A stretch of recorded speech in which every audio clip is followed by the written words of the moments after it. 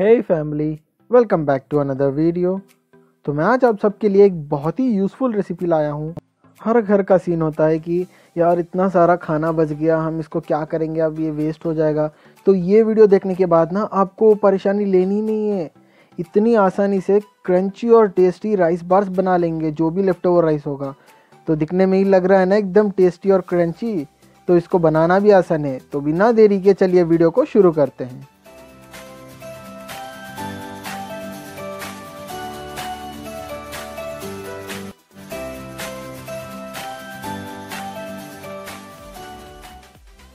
तो पहले हम यहाँ पे एक मिक्सी जार ले लेंगे।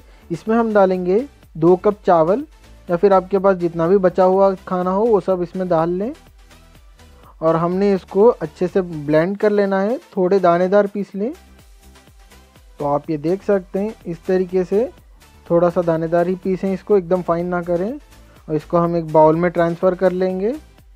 इसमें हम ऐड करेंगे हाफ़ कप आलू, यानी कि पोटैटो ग्रेट करके डाला है, कद्दूकस करके डालने ऐसे उसके बाद जाएगा हाफ़ कप गाजर, यानी कि कैरेट इसको भी ग्रेट करके डाल लें फिर हम डालेंगे हाफ़ कप अनियन यानी कि प्याज, एकदम फाइनली चॉप्ड और एक फाइनली चॉप्ड ग्रीन चिल्ली उसके बाद जाएगा हाफ़ टी स्पून गर्म मसाला पाउडर फिर हम डालेंगे हाफ़ टी स्पून ज़ीरा half teaspoon red chilli powder और थोड़ा सा नमक, स्वाद अनुसार डाल लें आप।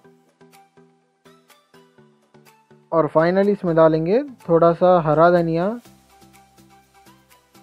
और इन सबको हम अच्छी तरीके से मिक्स कर लेंगे, ताकि सारे इंग्रेडिएंट्स अच्छे से मिक्स हो जाएँ। सारे इंग्रेडिएंट्स को अच्छी तरीके से मिक्स कर लेने के बाद हम इसमें डालेंगे हाफ़ कप सोजी सोजी डालने से इसका जो मॉइस्चर है, वो सोजी अब्जॉर्ब कर लेता है, और साथ ही साथ क्रिस्पीनेस भी आता है सोजी डालने से। हम थोड़ा थोड़ा करके सूजी डालेंगे और इसको अच्छे से मिक्स कर लेंगे। अगर हाफ़ कप सूजी डाल के भी ये थोड़ा सा गीला है ना मतलब मॉइस्चर ज़्यादा है तो आप और थोड़ा सूजी डाल सकते हैं इसमें। इसी तरीके से सारे सूजी को हम डाल के अच्छे से मिक्स कर लेंगे। तो हमने इसको अच्छे से मिक्स कर लिया है। अब हम इसमें डालेंगे cornflour powder two tablespoon cornflour डालने से इसमें एक अच्छा बाइंडिंग आ जाता है और साथ ही साथ थोड़ा क्रिस्पीनेस भी आता है। तो हम इसमें डालेंगे टू टेबल स्पून कॉर्नफ्लावर आप चाहे तो थ्री टेबल स्पून भी डाल सकते हैं। और इनको अच्छे से मिक्स कर लेंगे हम। तो हमने इसको अच्छे से मिक्स कर लिया है। अब हम इसमें डालेंगे दो टेबल स्पून दही।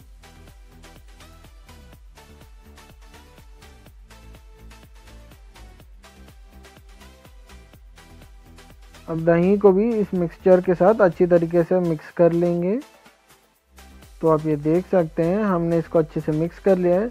अब हम बाउल को साइड पे रख देंगे। अब हम एक ट्रे ले लेंगे। कोई सा भी एक ट्रे ले लें जिसके साइड पे ऐसा थोड़ा सा ऊंचाई हो। अगर आपके पास ऐसा ट्रे नहीं है तो आप ऐसा राउंड प्लेट या कोई भी स्क्वायर प्लेट कोई भी यूज़ कर सकते हैं जो साइड में थोड़ी सी ऊंचाई होनी चाहिए। इस तरीके से। तो मेरे पास ट्रे है तो मैं यही यूज़ कर रहा हूँ।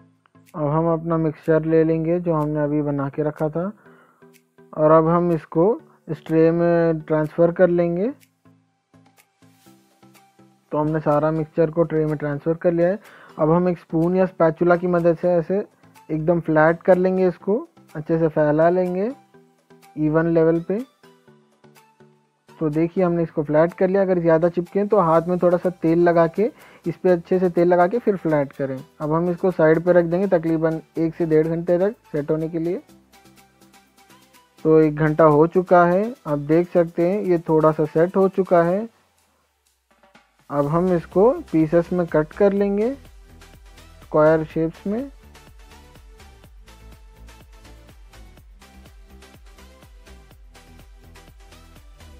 तो आप ये देख सकते हैं, ये अच्छी तरीके से सेट हो चुका है।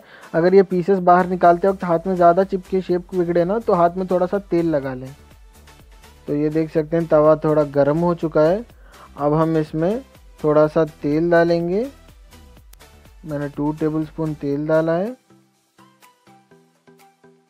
जैसे ही तेल थोड़ा सा गर्म हो जाए, हम इसमें अपना राइस बार डाल देंगे और इसको हम शैलो फ्राई कर लेंगे गोल्डन ब्राउन होने तक। तो थोड़ी देर के बाद हम इसको पलट के देखेंगे।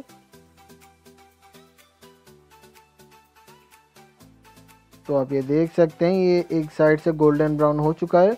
हम इसी तरह दूसरे साइड को भी फ्राई कर लेंगे। तो आप ये देख सकते हैं, ये दोनों साइड से अच्छे से फ्राई हो चुका है। अब हम इसको तवे से उठा के साइड पे एक प्लेट में रख देंगे, टिश्यू पेपर डाल के, ताकि सारा तेल निथर जाए। इसी तरीके से हम बाकी जो भी राइस बार्स बचाए सबको फ्राई करके निकाल लेंगे। दे यू को हमारा crispy and delicious leftover rice bar is ready घर पे ज़रूर ट्राई करें, बच्चों को ज़रूर पसंद आएगा ये, क्योंकि इसका टेस्ट बहुत ही बेहतरीन होता है। अगर वीडियो अच्छी लगी हो तो लाइक करना मत भूलें, साथ ही साथ दोस्तों को शेयर कर दें।